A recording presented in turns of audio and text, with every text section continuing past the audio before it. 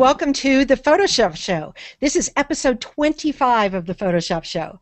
And tonight we have an amazing guest, someone that I'm so honored to have on our show, and that is Elisa Camahort Page, the co founder of BlogHer, which is the premium women's blogging network and uh, cross media platform network for bringing women together online. And so we're going to have Elisa telling us all about BlogHer and the latest, uh, what's going on there, the latest in BlogHer. And we also have an amazing panel down at the bottom of the screen um, who are going to chat with Elisa. And so before we do anything else tonight, um, I'd like all of those wonderful people to introduce themselves. And by the way, if you're probably watching the, the stream right now, but if you wanted to tell your friends, normally you can watch the stream on Ron Clifford's um, you can watch the show on Ron Clifford's stream. But Ron is in Haiti doing a humanitarian project this week, so he's not with us. And instead, we have Mr. Dave Bell filling in for Ron. And so you can watch the show either on Dave Bell's stream or in the event stream, the event announcing the Hangout. And then later you'll be able to watch it on YouTube on uh, Dave Bell's uh, YouTube channel, and I'll also put a link to it on my YouTube channel. Make sense? It will always stay in the event, so we can always get back to it. The event will stay there, and it will be there. That's right, and you can reach your events by going over to the column on the left side of Google Plus and clicking on Events. So, with no further ado, I would love to know who's down there in the panel, starting way over on the left with Anna. Hi everyone, I'm Anna Nguyen. I'm a photographer in Naples, Florida.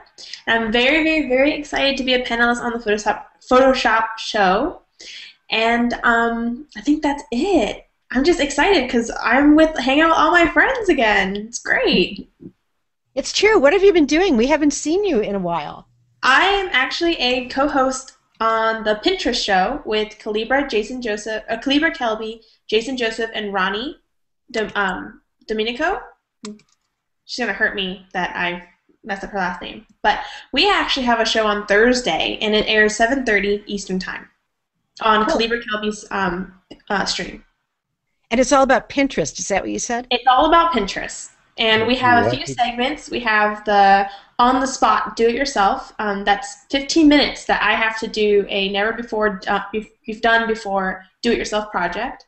We have Ronnie's cooking channel, which or Ronnie's cooking segment where she cooks for 15 minutes. Uh, Kalebra does traveling, and Jason Joseph does celebrities, and he's the answer man. So he answers everyone's Pinterest questions. And if you watch, you must bring chocolate. You That's must bring chocolate, and we give away prizes, and we have we just have a lot of fun. That's really cool. I have seen a few episodes. It's a riot. Great. And Dave Bell, thank you so much for sitting in and taking care of all the technical details behind the scenes. Tell us about you. Um, I uh, my full time job is as a uh, professor at a college. I teach information systems, uh, the computer uh, side of business, including electronic commerce. So I have a, a great interest in um, online activities. Uh, uh, particularly entrepreneurial use of social networking is, is one of my big interests. But I, I got into Google Plus because of my love of photography, and that's you know something I love to take time to do, um, and never feel like I have enough time to do it, but do it uh, as much as I can. And I've really been enjoying enjoying being involved uh, on this Photoshop show. Uh, That's cool. Do your do your students watch you when you're on Google Plus shows? You know, I haven't really told them about it too much. it's like my separate lives. That's great. Well, thanks again. We appreciate your help, and you've done a terrific job. Thank you. And our next uh, panelist is actually our special guest, Elisa Camahort Page. Elisa, tell us something about yourself. There's so much to tell, but a brief summary. Well, hi everyone. My name is Elisa Camahort Page. I'm the co-founder and COO of BlogHer, and um, I usually summarize myself with the three words in my Google Plus uh, profile, which is BlogHer, vegan, Macolite that tells you just about everything I'm interested in. Sad to say. well, where if uh, people want to find you, where do they find you online? Well, blogher.com. Uh, actually, my Google Plus profile is a good place to find me. Blogher.com, of course, and I'm Elisa C on Twitter, and I'm pretty active there as well. Terrific. Well, we'll hear a lot more from Elisa later in the show. Um, next to Elisa is Erika. Whose Hi. hair looks gorgeous. Oh, thanks. so, yep, um, I am a photographer. I am pretty active over on Facebook as well as Google Plus. Um, I've been um, taking a little bit of time lately to organize my huge photo collection and get them uploaded for stock. I'm exploring the stock world right now, and um, beyond that, I'm just here to learn and listen and get excited. So. Ooh, that's really exciting to have stock, you know, be, to be selling your work on stock. And I would love you to come back and tell us how that goes and how you do it and all that stuff. I would love to. Okay, we'll put that on the list. And on the other side of me is Miss Karen Hutton. Hi, Karen. Hi, Jan. How are you? I'm good. Where are you back from? I'm back from New Zealand. I'm back from New Zealand uh, after, oh gosh, I've been gone, I don't know, two, three weeks, and uh, helping to teach Trey's Trey Ratcliff's big uh, New Zealand photo adventure over there. It was fantastic, absolutely fantastic. I'm a photographer and I'm a voiceover professional. I'm the voice of Stuck on Earth, which some of you may know from the iPad. Um, MotionX GPS Drive for the iPhone, and lots and lots of other projects of, across the media divide, as they say. Um, and I have a website, KarenHuttonPhotography.com, and a blog, which needs renaming, but it's blog.karenhutton.com, brand new. It's just in its infancy, but I'm very excited. So I'm really excited to be here with uh, with our fantastic guest tonight. So yippee! And so your blog, you're you're kind of reviving your blog, is that right? yeah, I had one that was uh, sort of voiceover related, but I got bored. I didn't really do much with it. But I'm really excited because I have a vision for this one that is uh, quite a bit bigger than where it is right now. so it's really just starting, but I'm excited because I, I love having visions about things and then strategizing. Okay, so what needs to happen next? And it's all fun and it's all good for everyone. And I just I can't wait. I'm crazy that way. Karen, You know- how, how, I'm sorry, Jan. No, go ahead, Anna. How are little galleries going? Little Galleries is another project I've got going on. It's going well. It's going very well. Um, Little Galleries is like a, a gallery of photographers with music and voice and photos. And uh, the last one we did was a compilation of, mm, I think we had 20 photographers on that one for Valentine's Day, which told a story of love. And you can find that at littlegalleries.com. L I L, Life is Light. I was going to um, say that I'm interested to see how your blog will interact with your social media presence. Because, Elisa, Karen has, what, like three bajillion followers. How many followers do you have now on Google? I think it's 1.5 million on Google Plus, and I don't know, 170,000, I guess, on Facebook, something like that. Well, that's a bunch of people. And Yeah. it'll be interesting to see if you can measure if they come over to your blog too. Yeah, they're starting to. I'm I'm working on how that's going to. Ha- that's all part of the vision, because the blog can serve can do things that I don't really choose to do on and say on Google Plus and vice versa. And I, in my mind anyway, I see how they can actually help one another and be like you know a really great brother and sister to one another without being the same thing. So. Um, Well, that's super. That's super smart because people actually use those tools different. They go there with different purposes in mind, Right. and sort of making your plans with that in mind is going to help you have a better result and make the most of each piece of what you're doing. Exactly. And I mean, there's the whole thing, too, where a blog belongs to you. I mean, Google Plus doesn't belong to me. Right. Um, so, I, of course, I think about everything I've done over the past, you know, year and a half or more, going, wow, that doesn't belong to me.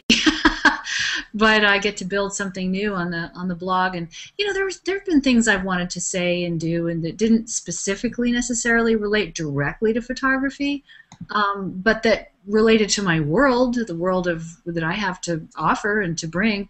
So there's been a you know a part that I've actually had to sort of cut off that I can you know very easily and legitimately include in the blog. So um, for me, it's just a matter of getting my mind kind of wrapped around all the things that I do and how they weave together and how to present them um, on the blog, which I'm really excited about. But see, that's why I'm excited that you're here because you know you're the me- you're the mistress of this. you're the whip cracking mistress of this whole thing. I like that. I like that too. It just occurred to me. You can use that. Okay, thank you. You're welcome.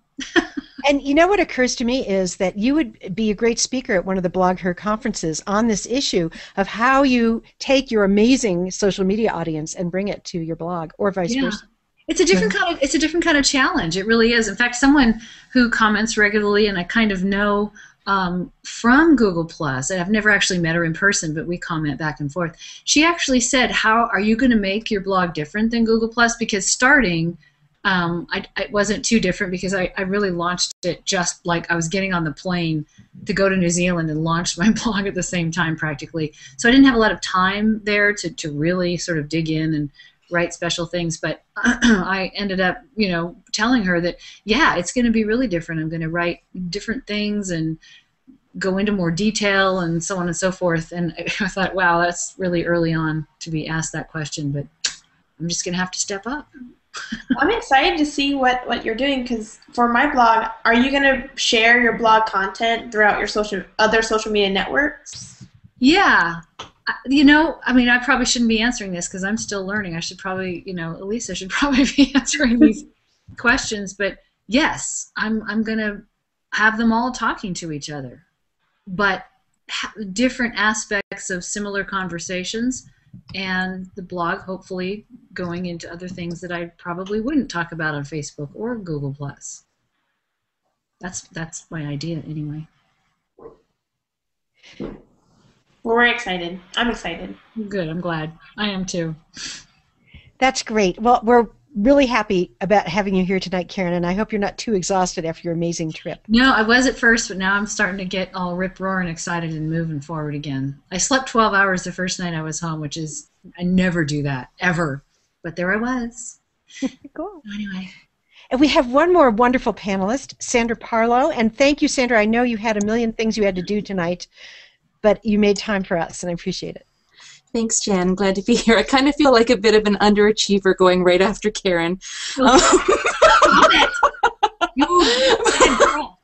but uh, Don't we all? Next time she has to go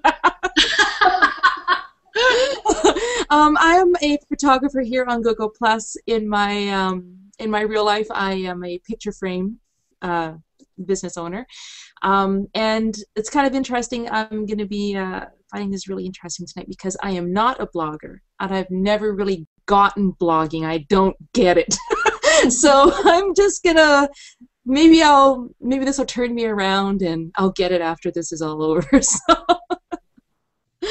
It took Thank me you. a while to decide whether I had something to say, and then, you know, if I had something to say, whether it was good enough, whether somebody even would want to hear it, and how to frame it. It's, I mean, it's really taken me a long time to even decide I, I wanted to go there because it's, it's a time commitment. So mm-hmm. you, you're allowed to take your time and think it. it's okay. and I'm a blog reader, not a writer. I'm always embarrassed of my writing ability. So, but I absolutely adore everything about blogging, but actually physically doing it. So I'm mm-hmm. excited to be here. I'm, I'm, I'm super excited because I don't know if what I did with my website is even smart. I mean, it's I call it my my web blog. It's it's just a straight blog of my photography. And when people go to my website, it's just it's a blog, and there's no portfolio. The whole it's just straight pictures and and text. So I think I'm a good writer. I don't know. so but i'm excited to hear more about like what others are doing in the blog world and how they're integrating it with their employment their profession their passions so i'm excited Well, that's the perfect segue, Anna. Thank you. into hearing from our special guest, Elisa Camahort Page, co-founder of BlogHer. Elisa, I'm going to give the floor to you to talk about anything you want because it's all of interest to all of us here, and I'm sure everybody who's watching the show. Well, thanks, Jan, and thanks everybody, and thanks for having me. Um, the thing about blogging, and the reason that I think it's still so powerful and um, has such impact on the lives of the people who take it up with passion, is that it really is your own corner of the web um, that you own. That you own what it looks like, and you own what you say, and you own whether you choose to monetize it or not, and you own how you share it. So many of the other platforms we all work on um, we don't actually have that same level of control. And for those uh, people who are blogging, they are actually also the most likely to adopt all of these other social tools. But the blog is usually the sun in their solar, their social media solar system, and the other tools are kind of used to orbit and bring people back to their corner of the web and their place where they get to say what they want and control how it looks. So that's the beauty part of blogging is that it's really your platform. And um, as jay rosen called it at our first BlogHer conference it's your personal printing press. Um, BlogHer was actually started in 2005 it's eight years ago now. And we started as a conference actually. So i, I met my first co-founder lisa stone. Um, we had a friend a mutual friend who kept trying to set us up to connect because we were both talking about this newfangled blogging thing. And he thought, you know, we were probably the only two people in the world who cared about that. We should just talk to each other probably not to him. Um, and so we had lunch, and and the one of the subjects that was going on at the time was where are the women? And this wasn't just about blogging. It was right after for those of you who are in silicon valley it was right after carly fiorina got pushed out of hp so there was a lot of where are the women in um, fortune 500 boardrooms. It was right after the 2004 election. So there was not only where are the women in congress but where are the women on the sunday morning op-ed pages? Where are the women on the talk uh, uh, on the talk shows? Um, there was the conversation where are the women in tech, where are the women speaking at conferences. Um, and then finally, a political blogger wrote this post, Where are the women who blog? And his uh, it was a rhetorical question because his hypothesis was that women didn't blog, especially not about politics, because they didn't want to put themselves out there and express their ideas and mix it up with the rough and tumble world of political blogging. And so a lot of the response to these issues that still bubble up sometimes uh, is to um, say, oh, let's make a list. Let's make a list of all the great women bloggers, or let's make a list of all the great women in tech. And what my co founder, um, Lisa, said to me, and this is our very first date, so to speak, she said, what if, you know, instead of talking about it on our blogs, we just ask people to show up somewhere, asked women who blog to show up and say, we're right here. And we cover all the same topics that any tech conference or any blogging conference would cover, but all the experts are going to be women. We're not going to talk about being women, we just are going to be women talking about technology, talking about politics, talking about business, talking about all of these things.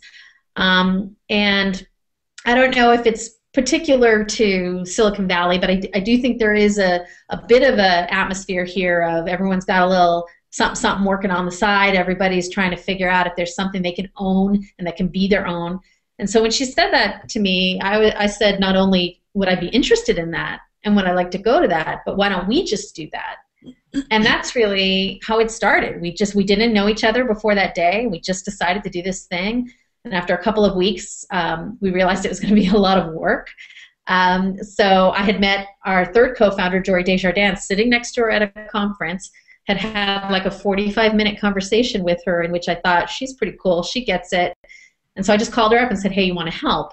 And that's actually how the whole thing was born. 120 days after, you know, we said we had this idea, we had the first BlogHer conference. Jan was there, um, and it was 300 people who showed up and said, "Here's where all the women bloggers are. What are you going to do about it? Let's let's get some attention going. Let's make sure that we're not recreating."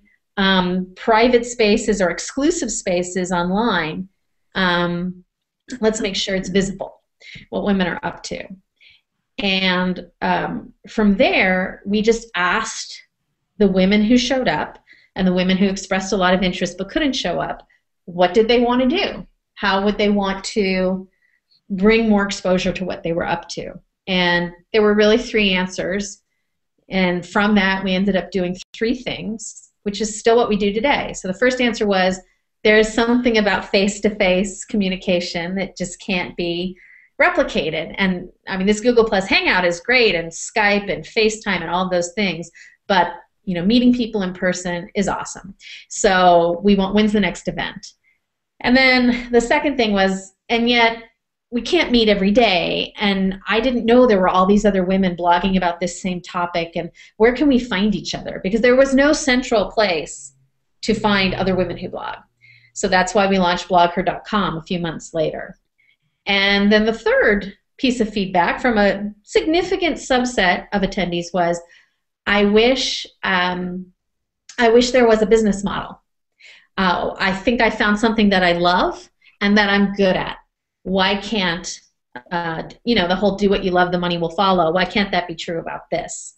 And so that's why we launched the Influencer Network and started to try to get women paid for their work because there's a whole lot of philosophy out there that what's on the internet has to be free and that women create and, and men people creating content on the web are doing it for free for the benefit of other companies and we were like why can't we work together to get paid for our work for the benefit of ourselves you know so that was how we launched um, the influencer network and those are still the three things we do today we do conferences our annual conference is now 5,000 people, um, you know, from the 300. We still have blogher.com, where we're, our whole mission is to spotlight what women are writing about online. And we have our influencer network, which reaches 55 million visitors a month across 3,000 blogs. Um, and last year, to the point about wanting to help people make money, last year we sort of analyzed what we had done from the period of the beginning of 2009 to the end of 2011. So three years. And for many of us, it's the worst three years in the economy that we can remember, and probably that we were adults for. I certainly remember, you know, the 70s economic recession. I remember other bad economic, economic times, but this has been probably the worst and slowest recovery. And in those three years, we paid the women in our network $17 million for their work. Wow. And that has been um, what we are here for is to provide economic empowerment to go along with the community and the exposure for their work and education at our conferences um, so that's still what we do today and the, the fourth thing we have kind of added is we do research we do a lot of research about uh, women and their behaviors online women are the drivers of most online activity when it comes to social women are the majority of users and they drive the majority of engagement. And they certainly, when we know in the real world, they control the spending. You put all that together, and that's why women are so um, sought after by marketers. Is that um, why you think Pinterest is growing so rapidly? Yeah, so Pinterest has really it's been a phenomenon, you know, it is it's a couple of things. I think women are the drivers for sure of Pinterest. I think imagery, and you all are photographers, something we've really noticed is a huge trend is photography and video, driving what people want to do on the web. We have increased tremendously the programming we do at our conferences. We have dedicated tracks now for photography and for video. We added a whole pre-conference day for just photography and video called Viewfinder Day uh, for our summer conference this July. And the thing about Pinterest is I think it really captures um, I always say that the rest in Pinterest is significant because I think it's this lovely leisure activity of your you're you're just scrolling your way through things that make you feel good if just imagining doing them.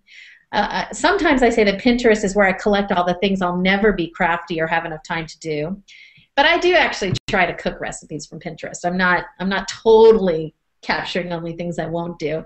Um, so I think the fact that it's image based I think the fact that it has a clean and simple layout, it's like um, they've really gone for less noise. I heard that they're redesigning to add more noise, and I actually wonder if they have women on their design team and, and if that's really going to be successful for them. Because what I think has been successful is the cleanness of the experience and controlling how much noise you let in and out of, of what you look at. So um, but women are also the drivers of Facebook's traffic and Twitter's traffic.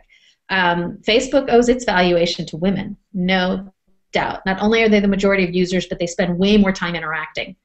Um, so people like to sort of, you know, I've, I've never been one for saying that Pinterest is the woman's network um, because they all are, and that would be my that would be my contention.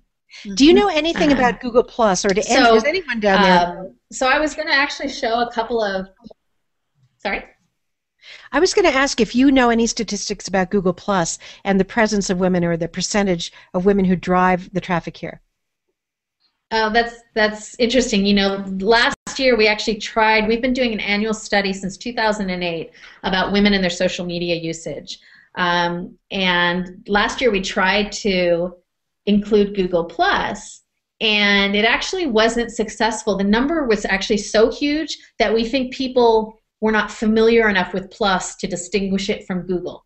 So we, it was Q1 of last year. So when we were asking people how frequently do you use Google Plus, we were getting like 80% of women were saying daily. And so we we believe that they were not familiar enough yet to distinguish it. And we hope that this year we will get a better reading and we'll also look at how we whether we should spell out the plus or whether we should provide a link or what we need to do something to make sure people do not confuse it. So unfortunately in our own annual study we did not get um, a, a, good reading uh, because of that. We were pretty convinced the number. We threw the number out. We didn't think it was at all real. Um, you know, I I've been on Google Plus since day one, and um, I have. It's the one area. I mean, I actually have more followers of Google Plus than some of the platforms I've been on.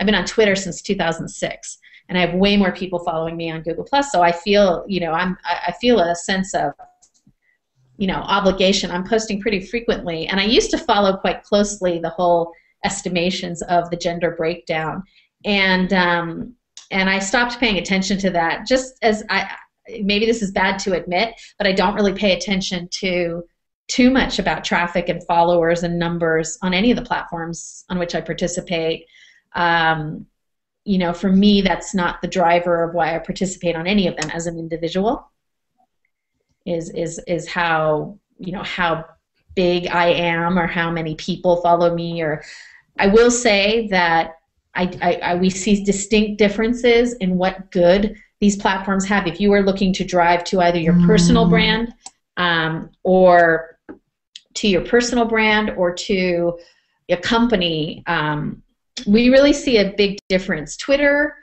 is sort of this enclosed universe where people are having conversations. You can get a, a ton of retweets and think, I'm going to get so much traffic from that. And it's it's really not reflective of the traffic you'll get. People see who you are. Oh, I trust that person. That sounds like an interesting headline. The friction involved with retweeting is minuscule. So you get all these retweets without people ever having checked um, what you were what they were actually retweeting. And the other reason is because it's it's gone. It's gone in a few weeks. You can't find what anyone tweeted. So there's not this sense of responsibility around tweeting. Facebook on the other hand when someone shares on facebook because they know that the the universe of people who are going to see that share is different and it's more you know most people aren't that savvy about their privacy settings. So they think pretty carefully before they share and a share is much more translating to they probably looked at what it was. You know, their mom might be on Facebook, their their boss might be on Facebook. So before they share something, it's much more likely they look to themselves. So, um, sorry. I'm sorry. Would you equate um, Facebook's like button with like a, the Twitter retweet? Um, but even that, it shows up. It shows up on your profile. It's there forever. I, I actually did a whole Facebook cleanse a couple weeks ago after um, perhaps after they announced Social Graph. I spent my weekend going back all the way to 2007 and looking at everything I ever liked, everything I ever um, became a fan of, and any picture that was tagged with me, um, any anything like that. And I cleaned out the ones I was. Most of them it was just I didn't remember anymore. Um, like why I had liked that or what it was. like friends ask you sometimes to like things to support them, and then three years later you're like, I have no idea what that even is. And so I just went through and cleaned it out. So I think even the like has a little more reflection on you um, than a retweet, um, and it's there forever. Uh, unlike retweets are kind of, I mean, Twitter is an extremely ephemeral um, environment. It's great for just sort of branding awareness and getting awareness out there. Um, but I think that Facebook is a little bit more intense in as far as um, someone who's sharing something probably has some interest in it, probably has looked at it, and has considered what they're looking at. Um, but the thing that, and then the thing with Pinterest is that Pinterest has two qualities it shares. Um, with uh, blogs and social media. It's kind of this hybrid because it definitely shares this. Um, it's a way of recommending. It's a way of saying I like this, right? That's it's very visual. It's very um, it's very specific. You know, it's individual things, items, recipes. But it's also really fun for the user. So there's a very um, there's an externally facing aspect to it where I'm I'm recommending these things to you and I want you to see them and share them. I'm curating for you. And there's also this very it's just fun for me to look through all this stuff. All the stuff I never repin is equally fun for me to look through, you know, and just sort of uh, you know, either fantasize about doing someday or laugh about what other people like to do or whatever it is, you know. So there's sort of this this both externally focused and internally satisfying aspect to it. But what it doesn't do very well is get you to the result. Like it is very easy for um, is very easy to click on something thinking you're getting to the source of a pin and you're really like four clicks away from it. And it is very easy. Like if you see something and you really want to buy it there's that can be depending on what it is it's completely erratic experience sometimes you may be successful one click will get you to where it's someone's store and you can go through and do that and sometimes it's like it's a, a rat hole a rabbit hole i guess that you never get out of trying to actually figure it out so so do you think that can you do, does if can you drive traffic? Do you see that there's a good drive of traffic that way? I mean, Pinterest is a great traffic driver.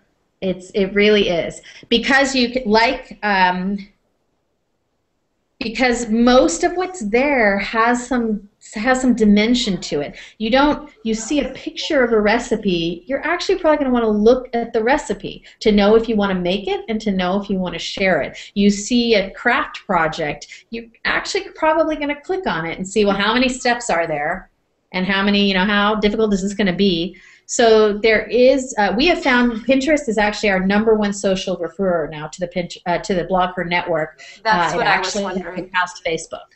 Okay, that's what I was wondering. Yeah, absolutely. But it really works with certain kind of content that's very visually oriented. Although I will say, even that is changing. I mean, posting infographics. We post our infographics now on Pinterest. That works. Uh, there's a lot of, you know, um, deep thoughts by Jack Handey type. Uh, that aged me right there. That dated me. Um, but uh, there's a lot of like, um, you know, uh, phrases and and inspirational thoughts that get shared. So it's it's moving away from being just style, food, and crafty, and and expanding its horizons. Um, and uh, but I think again, it, it is pretty uh, image oriented. Would you mind, Elisa, if I uh, change the conversation from Pinterest over to BlogHer and its ad network? Can you tell us something about that? Because I was really intrigued when you said there's there's nothing wrong with asking for money, or when you suggested uh, there's nothing wrong with asking to get paid for what you do, um, and how you guys are approaching that with the ad network, and also yeah. what kind of advertisers you're focusing on. Well, um, our perspective is that uh, be, when marketers seek to work with social media people, they're either asking them to be writers, they're asking them to be marketers, they're asking them to to um, they're asking them to do functions that have a value in the real world. And so to us, there's no reason they shouldn't have a value in the online slash social world. It makes no sense. Um, there's time involved. There's effort. Um, so you know the expecting people to market your products for free or write about your products for free or do anything for free when you wouldn't expect a copywriter to do that. You wouldn't expect a magazine to to put a you know an ad in their um, magazine pages for free. I mean it's just because it's on the internet doesn't mean it is devalued. In fact we know that it's valued. You can actually track what happens from when they see something on the internet track where people go and track what they're interested in. So um, our perspective is that you're paying for the work.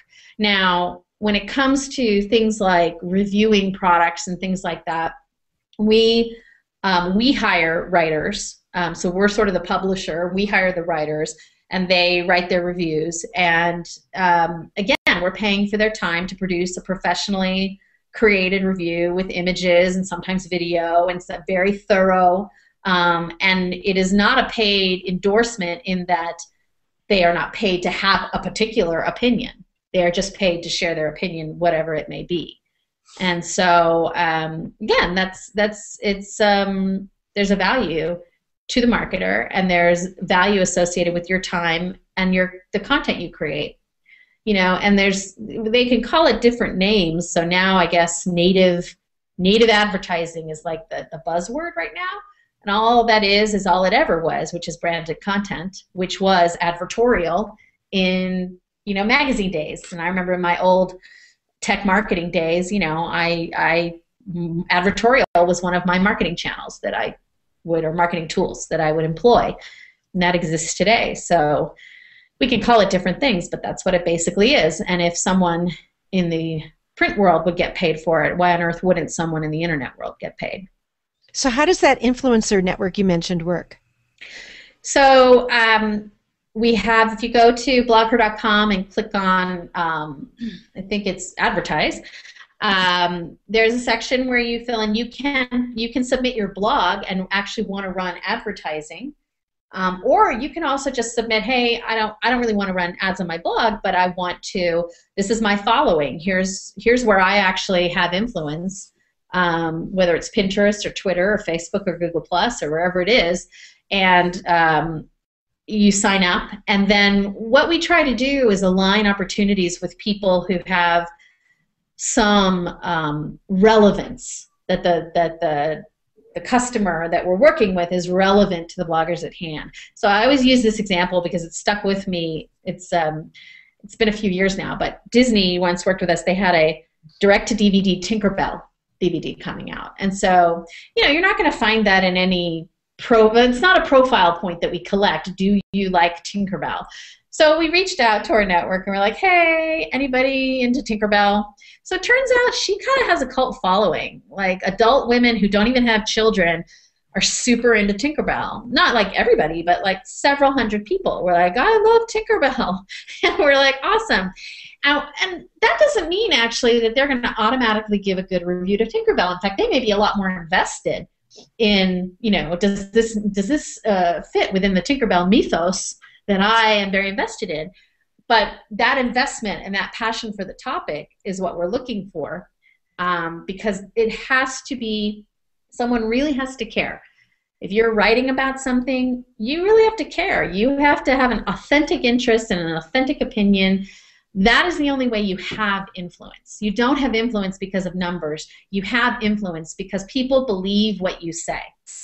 Um, and so it's it's incredibly important that people only work on things they're interested in, only share opinions that are real, and always disclose, disclose, disclose if there is any material relationship going on. And a BlogHer has hired them to do anything. And that way you can strike that balance between making a living and you know continuing to use your blog as your personal platform. So what do you guys think about that, that? as photographers in which is a somewhat a male audience i'm imagining as we're discussing in our personal chat here ask the question again what do, what do we think about advertising what do we think about um, combining personal with commercial or all the above uh, all of the above would be fine. what are your thoughts about getting into the advertising? Can can we as women photographers or post process. You know, I'm an expert in Adobe stuff. So can we monetize what we know, or are we are we in this world where women really aren't valued as much, or perhaps they're over outnumbered? Let's put it that way. I see women photographers monetizing constantly. Um, Clickin' Moms is a huge avenue for that. Um, lots and lots of women have their um, their presets and their actions for sale. Um, they do they give away freebies on their blogs to drive traffic, and then they are selling products constantly. I don't think that it necessarily takes away. I think that it's a value added product. Um, and I think it gives them clout and respect if, if they have a following of people who will pay for their products. Do you think there's just too much stuff that's free out there to break into the monetizing aspect of it? Me personally, absolutely not. Um, I think that people want a quality product, and if you have good reviews out there, people are willing to pay for it if they trust the source. And they trust the source by getting to know you personally through other aspects of your blog and through being able to communicate and get to know you as an individual through what you write that isn't being monetized. Um, they trust you and they want um, what you can create. So I think it's a great balance. Mm-hmm. Yeah, I'd have to agree. I mean, I think I think anyone who builds a following, who creates a world, you know, that other people want to be a part of, um, you know, anymore. You can't just hang out a shingle and say I do this and expect people to come. Now it's like you have to create a world, and this is the sun I live under, and this is these are the thoughts I think, and this is my philosophy, and this is what I what this is what I'm about. You know, you have to really bring it on so many levels. Um, but I think everyone expects I think everyone expects some free stuff, but I think everyone expects and wants to pay for some paid things, you know, if they've if they've signed on to be part of your world. But I think that's the, our responsibility is to create a world people want to be a part of. And I think what's great about that is that it's not just a drive for individuals or solopreneurs or small businesses. This is becoming a drive that bigger companies have to worry about. They have to worry about who they say they are in the world and how they back up who they are in the world. They have to show how they act in their community. They have to show how they behave with their consumers. Social media has been transformative for the power of the consumer. But it's also, people think it's one sided, but the company, these brands now have the opportunity to listen to their customers in a way that they never had before um, and I think it, it can only drive us to a more um, responsible uh, form of capitalism, hope, hopefully, in this country. But it also knocks down these barriers, not just between individuals, but it's, it's sort of flattening things out. So it's tough as a company to know that consumers expect that they should be able to tweet out at you and get an answer. And I'm like, well, so sorry. But you should I, be glad they want to talk to you at all. I like, just bought this book because Nicole tweeted it and said, Look at I created. Now, On1 isn't something I would normally go out and buy a book for, but because I trusted her and her stuff on social media, I went out and paid for her book. You know, it wasn't a gift. I went out and bought it on Amazon. And so I do think that I trust On1 because a lot of the people that I respect are supporters and fans of them. So uh, it does influence, and it is a relationship that goes back and forth. And I think SmugMug does a great job with that as well. And I think, yeah, it's great. So, but her blog is driving people to other products and other avenues that she has. And same with Jan. I, you know, I'll pay for lynda.com because um, of her presence. And that's, you know, how it kind of works. Uh, that's really nice. Thank you, Erika. I thought well, I've had many. I'm sorry. Go ahead. I was just going to say it's interesting because we a lot of our research focuses on this trust versus influence, and then making people act. Right? What converts someone from just saying, "Oh, that's cool, she's into that," to actually going and buying a book? And I'll just show you something um, really quickly, um, which is from our research, let me open it here, which is that we asked this year about these four main um, uh, social tools blogs, Facebook, Twitter, and Pinterest. We said we asked users of each tool, so people who actually use these tools, do you trust the information and advice that you that you find there? And you can see that across the board, people say yes, both the general population and the blogger sample. But what is different is then you say, well, have you ever actually made a purchase? And then you can see the numbers change a little bit. So that converting into action for the actual user base is really high for blogs. It's actually pretty high for Pinterest, and I think it would be even higher if they made it easier to buy. But you can see that that converting into actual action for Facebook and Twitter is is lower, even though they trust the information. And it's because when people are on Facebook and Twitter, they're not looking for something to shop for or buy. They're not they're not looking for that kind of um, deeper information. They are looking to engage. They're looking to have a conversation. They're looking to, um, you know, have personal intercommunication and transaction, not commerce. And so I think there are other places. Uh, so that's something to think about too, where you're promoting your ideas and your voice and your personality and your conversation versus where you have a chance to dig deeper into your products and your offering and what you have on offer and, and where you're going to find more fertile ground for that. So, Elisa, what else is going on at BlogHer? Um, I know you have multiple conferences coming up. Can you tell us something about those? Yeah, absolutely. So actually our next conference might be of interest to, to many photographers because I think of photographers as business people, small business people. Our next conference is BlogHer Entrepreneurs. It's March 21st and 22nd um, at the Microsoft campus in, um, in Mountain View. And this was actually a conference we started two years ago in response to not where are the women who blog, because we don't think people ask that anymore, but where are the women starting companies? So we have 100 attendees and we call 50 women we know who are already VCs or you know entrepreneurs who have had some sort of blessed event or exit or lawyers or financial experts. But you know 50 very senior women and we ask them to come together not just for educational programming but we set up mentoring matches so that every attendee gets a mentor that they get to talk to about a specific business problem um, and then there's peer networking, and then there's programming. So we um, that's March 21st and 22nd. This will be the third year we're doing it, um, and it's a really uh, great event for inspiring you to take whatever it is you're doing to that next level of your from a business perspective. Um, then we have BlogHer Food in June in Austin, and that's our fifth year doing that, and it's um, it's a great event. Food bloggers are super serious and they are very into their photography, I can tell you. Um, we've had a photography track as part of BlogHer Food since the very first year because it's so it's so necessary uh, for most great food blogging. And then our annual event is this July in Chicago this year. It's the third time we're back to Chicago. And in addition to the annual conference itself, which has tracks about personal blogging, political blogging, professional blogging, technical topics.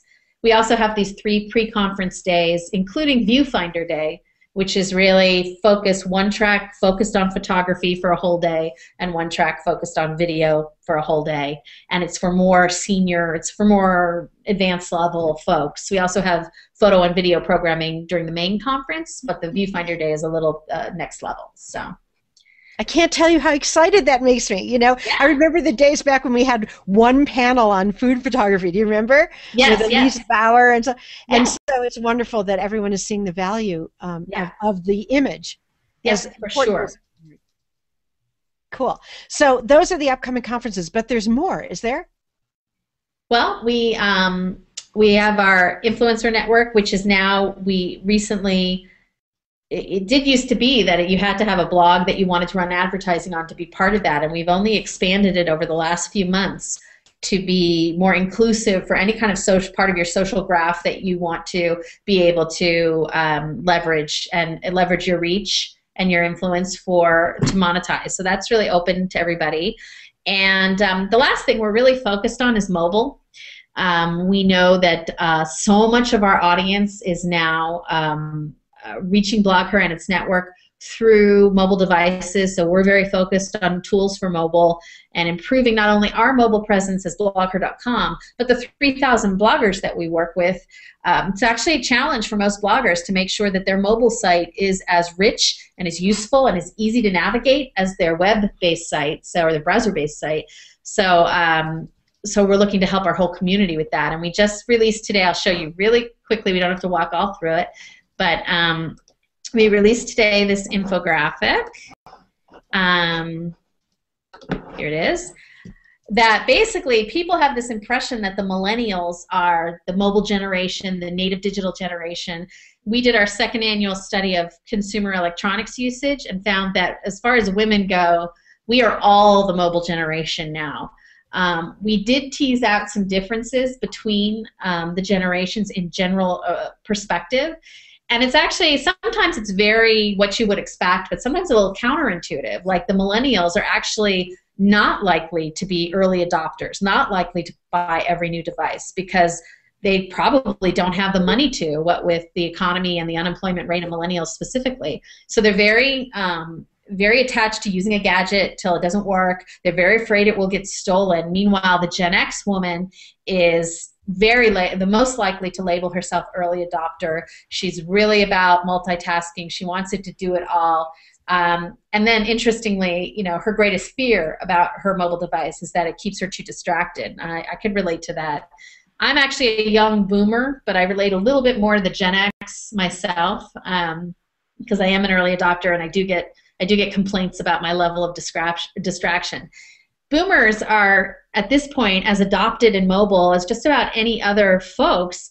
Um, and they're, they're getting new devices more quickly than the millennials. They will wait to see if the, they'll introduce a new fee, uh, new device and get the next to last because it's a little less expensive. They really like to get a good deal, but they are adopting mobile to the same degree. It really goes to show anyone who's using the the cliche that this so easy your mom could use it or your mom would adopt it really isn't paying attention um, because uh, you know your your moms and your dads and probably your grandmas are all using mobile devices. They're using smartphones. They're using social tools. They're using Facebook, um, and it's just a different different world than it was ten years ago.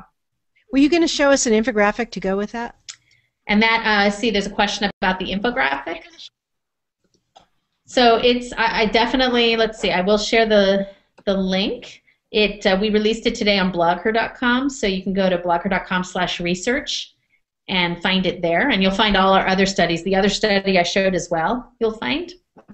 So, who's doing your studies? Do you have a separate division or people you hire? How does that work? Yeah, so we have a, a director of market research um, who uh, I work with, and we actually have our own research panel that we've developed. We were we used to just send you know sort of spray things out in um, ads or or social and uh, but now we've built this panel of almost 4,000 women.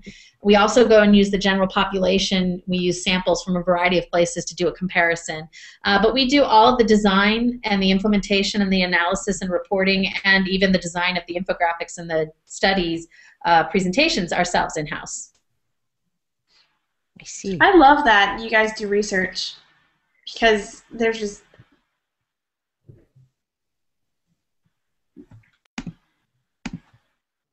Sorry, I got distracted. I'm like looking all at your research. Um, I have a psychology background, so all of this is so interesting to me because it's it not only it's not just helpful for other women to see this research, it's also helpful for everybody to know where right. where we're going with our you know technology anyone who's interested in how the internet is going, where the internet is going, how social the interaction is going, is going to find this research so interesting. I also think it's sometimes a, a, a gut check against. There's a lot of hype. There's a lot of. Um, I always bring up the difference between the mainstream adoption of Twitter by regular people and its adoption by media. So if you were to believe the media representation, you would think everyone is using Twitter. I mean, there's a hashtag for every TV show. There's a hashtag on every magazine print ad. Every celebrity has a Twitter account. Those of us who are in marketing or social or you know in this whole space, we are all completely invested.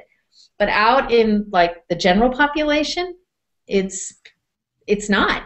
You know, it's there. The adoption's at like 20%, and that's what it's been for the last couple years, and maybe it'll go up a point or two a year. But so it, it helps to do that comparison between the BlogHer folks and the general population folks helps show you where there's some gaps between those of us who are kind of we're not regular people when it comes to some of this stuff. I always talk about the regular people and how they look at me like I'm crazy when I talk about Twitter, you know, and probably Google Plus too. yeah, I still have friends who are like, Google Plus is not dead. I'm like, oh my god, the Google Plus is so vibrant. Like we're doing like all these awesome shows and it's so much information and you should really focus on like you should really watch some. they're like, yeah. I don't have time for that. so, you know, now that I've got you here, I, I need your advice as an expert on blogging. Okay. You, so here here's what I keep thinking. People say, "Oh, Jan, where is your uh, website?" And I'm like, "Oh my God, my website! You know, who has time for my website? I'm all on all this social media, and my business activities are online. I, you know, I do this training at lynda.com, and it's pretty much constant. You know, it's it's like a full time job. So." My idea has been, well, I should be directing everyone that I meet on social media to my monetized business, which is lynda.com not to a separate blog page would be kind of a detour. And I'm interested in what you think about that as more and more of us run our businesses online. Should we have a separate blog or should we be sending people directly to our business place? Well, I agree with the statement that you should most think about driving traffic to where you control the experience and have the opportunity to monetize it.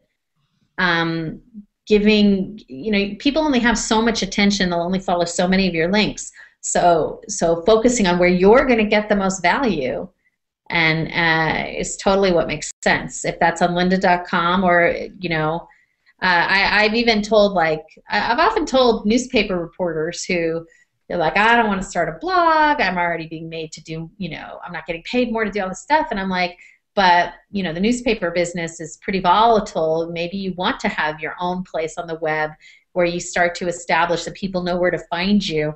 So i think it depends on what industry you're in and, and what you're doing. But i think you want to have a place that's your own that you control and that you monetize.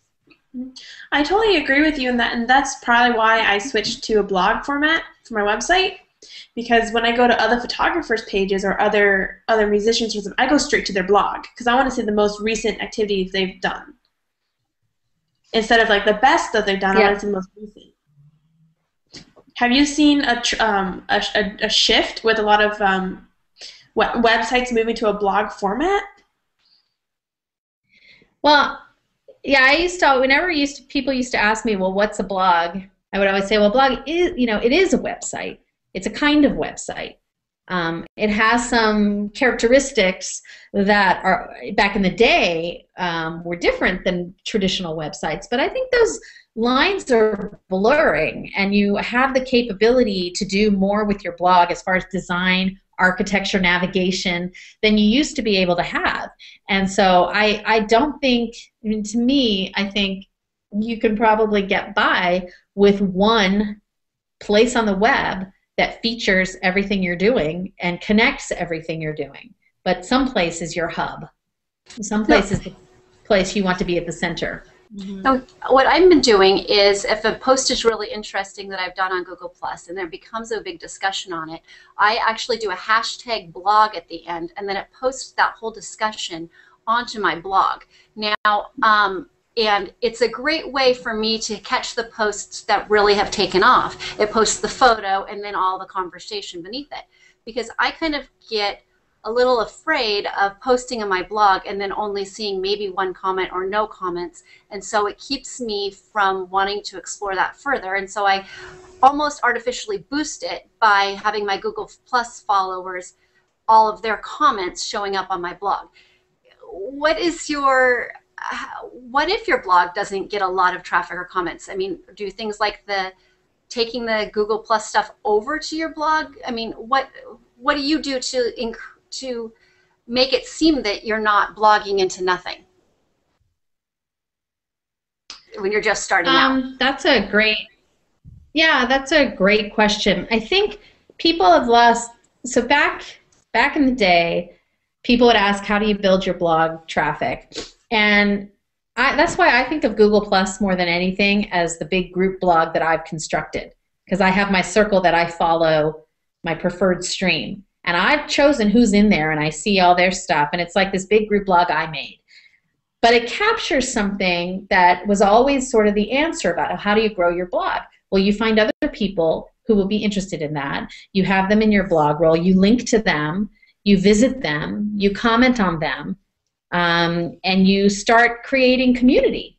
Um, and that's how people want to follow you back and find where you are and go see your stuff.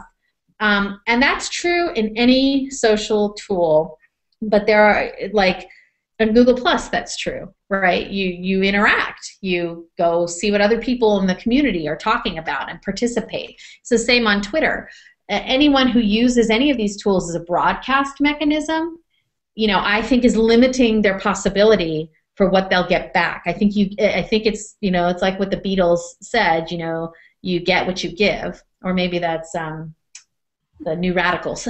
I'm dating myself again.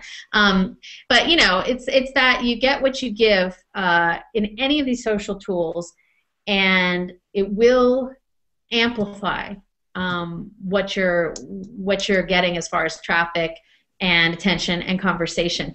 But it's also true that you want to go if you have something. You know, our big philosophy to the brands, and I think this can apply to people, is you should go to where your customers are. You should go to where your community is. Don't always be about pulling them. So I know I just said have somewhere that's your hub, and I totally believe that.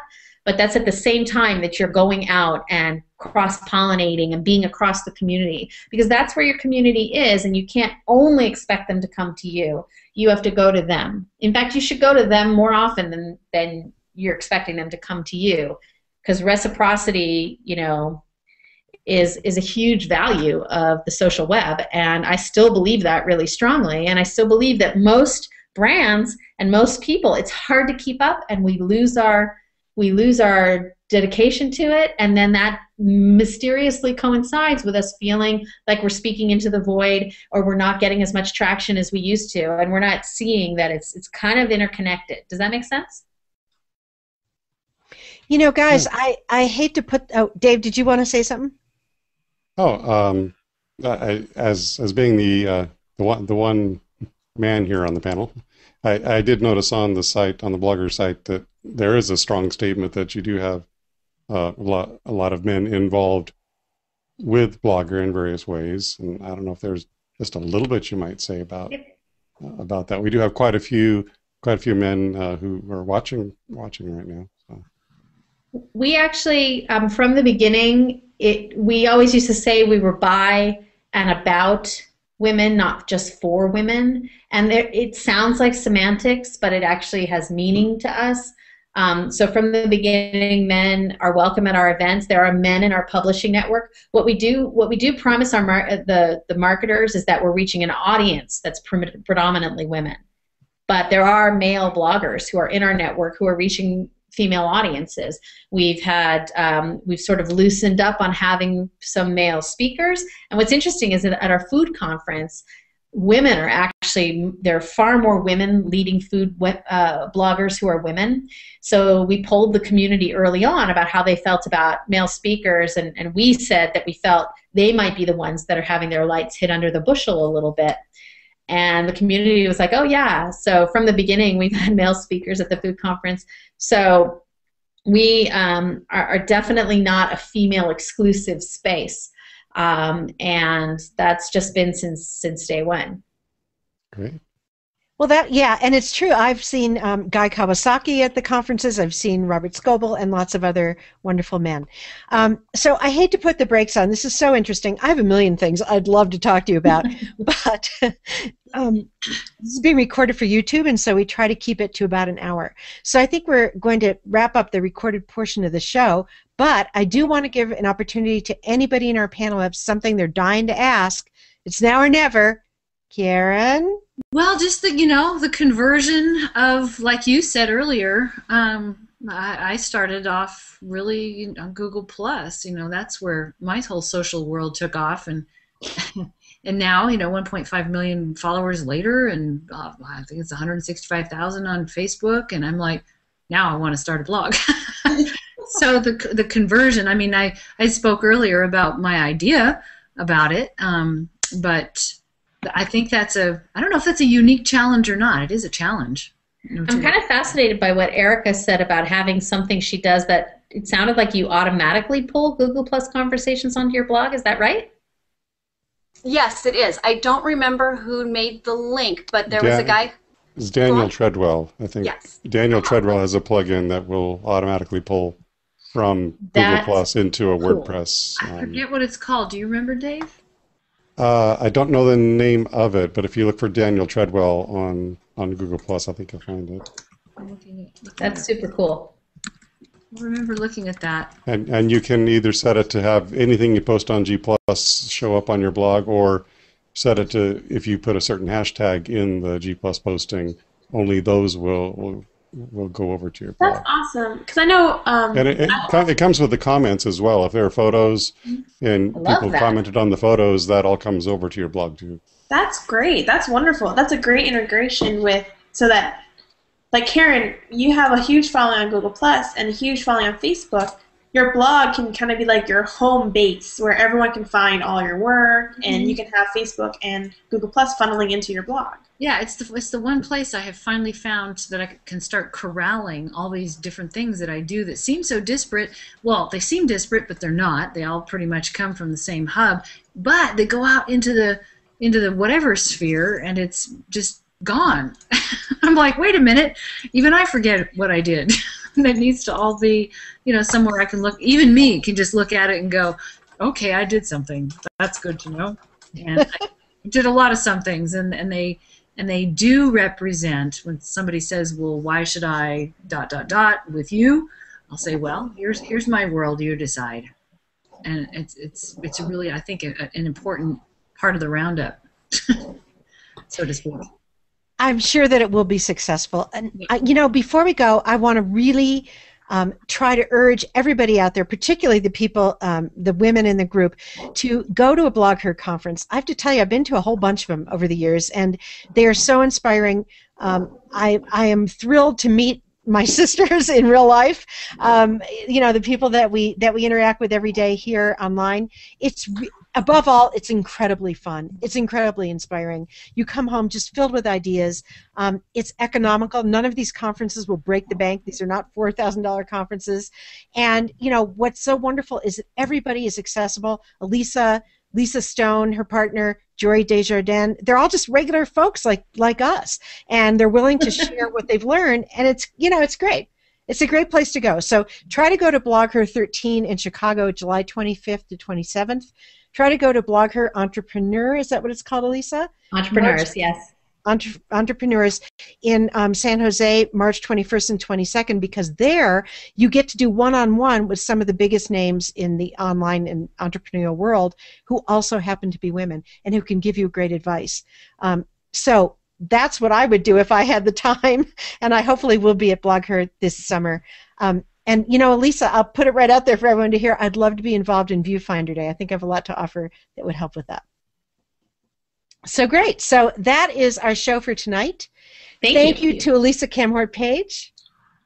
thank you so much elisa for your time this was great Thanks, guys. Thank Great you. We I've Thank learned, you. we've learned so much. Thank you so much. Awesome. Thank you. Appreciate it. And our it. panelists, you're wonderful as always. Ana Nguyen, Dave Bell, Erika Thornes, Karen Hutton, and Sandra Parlow. We really appreciate you taking time out of your busy evenings um, to be with us tonight. yay So Thanks for that wraps having up the. Photoshop show. Bye, everyone. Bye. Bye. Two weeks. Two weeks.